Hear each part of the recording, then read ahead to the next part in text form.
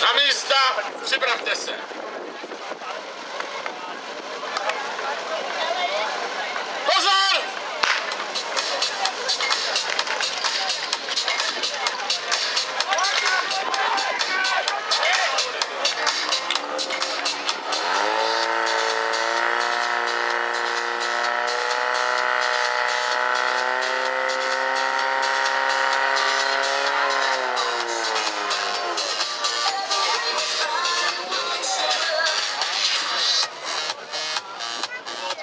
Bohužel, ani tady to dneska nevyšlo, slabský Bčko.